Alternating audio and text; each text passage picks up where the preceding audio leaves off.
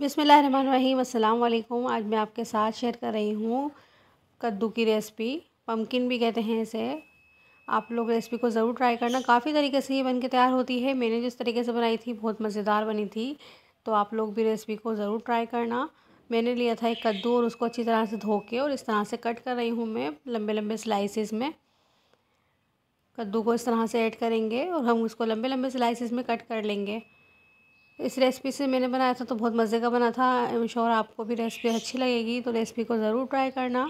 इसमें ऐड करेंगे हम केरी तो केरी के भी मैं इस तरह से स्लाइस कर लूँगी। अगर आपके पास केरी अवेलेबल नहीं हो तो आप इसमें इमली भी ऐड कर सकती हैं। बहुत मज़ेदार लगती है ये रेसिपी। तो इस तरह से देखिए, मैं बिल्कुल चंक्स में काट रही हूँ केरी को। केरी भी आजकल बहुत सीज़न में है। तो आप लोग भी ज़रूर इसका इस्तेमाल करा करें। इससे काफ़ी बेनिफिट्स हैं। सारी वेजिटेबल्स को मैंने कट करके निकाल लिया था। अब इसको हम करेंगे कुक तो मैंने एक पैन में लिया है आधा कप ऑयल ऑयल ऐड करने के बाद इसमें मैं ऐड कर रही हूँ बारीक स्लाइस की हुई एक बड़े साइज़ की प्याज। प्याज को अच्छी तरह से हम इसमें ब्राउन कर लेंगे। लाइट ब्राउन करना है कलर चेंज नहीं करना है। सब्ज़ी में कभी भी आप प्याज को डार्क ब्राउन नहीं करना। थोड़ा सा ही इसमें पकने लगेगा तो इसमें हम ऐड करेंगे लहसन की छः जवे ली थी मैंने इसको छीलने के बाद इसमें ऐसे ही एज इट इज़ ऐड कर दिया था।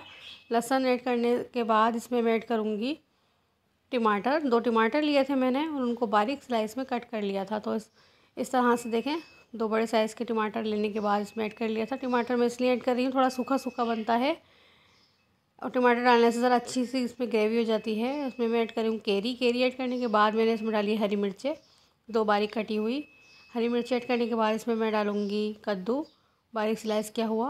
अब इसमें ऐड करेंगे नमक। नमक हंसब जाएगा भी आप ऐड कर सकते हैं। मैंने हाफ़ टी स्पून इसमें नमक, हाफ़ टी स्पून इसमें लाल मिर्चें पिसी हुई और हल्दी। ज़्यादा मसाले सब्ज़ी में मज़ा नहीं देते तो मैं इन्हीं मसालों से बहुत मज़े की बन के तैयार होती है। अच्छी तरह से इसको मिक्स कर लूँगी। मिक्स करने के बाद इसको हम ढक के पकाएँगे गलने तक।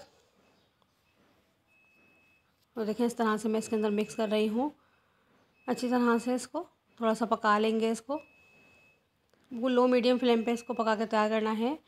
खिचड़ी के साथ ही बहुत मज़े का लगता है। आप चाहें तो इसको चपाती के साथ भी खा सकते हैं और खिचड़ी के साथ खाएँगे तो हाँ सबकी अपनी अपनी पसंद होती है। अब इसमें मैं ऐड कर रही हूँ ज़ीरा। ज़ीरे का पाउडर मैंने लिया था हाफ़ टी स्पून सब्ज़ी में ज़ीरे का पाउडर ज़रा अच्छा लगता है। आप लोग रेसिपी को इस तरह से फॉलो करेंगे तो आपको भी बहुत मज़े की बनने लगेगी। इसमें मैं डाल रही हूँ अब हाफ़ कप जितना पानी, वैसे इसमें पानी की ज़रूरत नहीं होती, लेकिन मैं इसमें थोड़ा सा डाल रही हूँ, ताकि ये अच्छी तरह से गल जाए। और इसको ढक के पकाएँगे हम तकरीबन दस मिनट।